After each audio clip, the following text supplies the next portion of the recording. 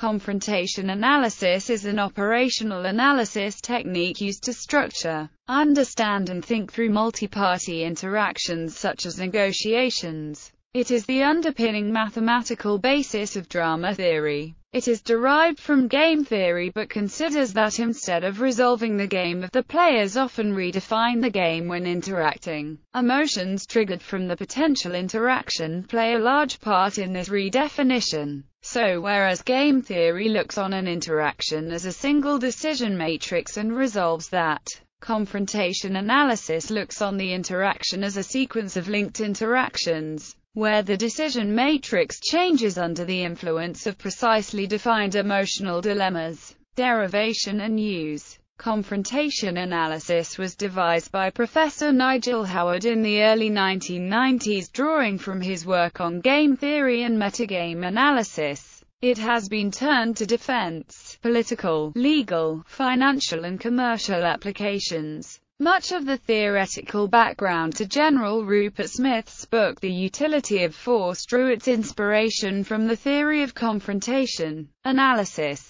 I am in debt to Professor Nigel Howard, whose explanation of confrontation analysis and game theory at a seminar in 1998 excited my interest. Our subsequent discussions helped me to order my thoughts and the lessons I had learned into a coherent structure with the result that, for the first time, I was able to understand my experiences within a theoretical model which allowed me to use them further. General Rupert Smith the utility of force confrontation analysis can also be used in a decision workshop as structure to support role-playing for training, analysis and decision rehearsal. Method Confrontation analysis looks on an interaction as a sequence of confrontations. During each confrontation the parties communicate until they have made their positions clear to one another. These positions can be expressed as a card table of yes, no decisions. For each decision each party communicates what they would like to happen and what will happen if they cannot agree. These interactions produce dilemmas and the card table changes as players attempt to eliminate these. Consider the example on the right, taken from the 1995 Bosnian conflict. This represents an interaction between the Bosnian Serbs and the United Nations forces over the safe areas. The Bosnian Serbs had Bosniak enclaves surrounded and were threatening to attack. Each side had a position as to what they wanted to happen. The Bosnian Serbs wanted to be able to attack the enclaves, not to withdraw their heavy weapons from the enclaves, for the UN not to use air strikes. The UN wanted the Bosnian Serbs not to attack the enclaves, the Bosnian Serbs to withdraw their heavy weapons, the Bosnian Serbs not to take hostages. If no further changes were made then what the sides were saying would happen was, the Bosnian Serbs said they would attack the enclaves. The Bosnian Serbs said they would not withdraw their heavy weapons. The Bosnian Serbs said they would take hostages if the UN uses air strikes.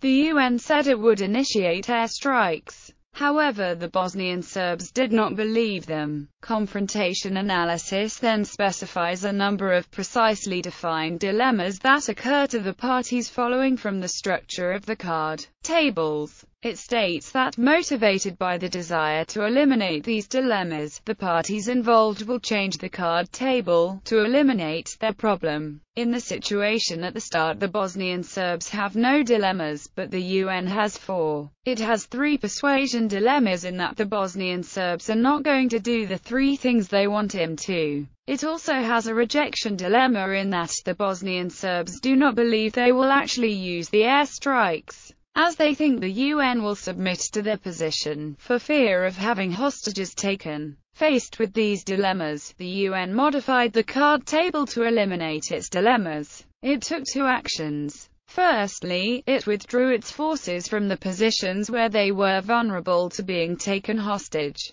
This action eliminated the Bosnian Serbs' option of taking hostages. Secondly, with the addition of the Rapid Reaction Force, and in particular its artillery the UN had an additional capability to engage Bosnian Serb weapons. They added the card, use artillery against Bosnian Serbs. Because of this, the UN's threat of air strikes became more credible. The situation changed to that of the second card table. The Bosnian Serbs wanted to be able to attack the enclaves, not to withdraw heavy weapons from the enclaves, for the UN not to use air strikes, for the UN not to use artillery. The UN wanted the Bosnian Serbs not to attack the enclaves, the Bosnian Serbs to withdraw their heavy weapons. If no further changes were made then what the sides were saying would happen was, the Bosnian Serbs said they would attack the enclaves but the UN did not believe them. The Bosnian Serbs said they would not withdraw their heavy weapons, but the UN did not believe them. The UN said it would use artillery. The Bosnian Serbs believed this. The UN said it would use airstrikes.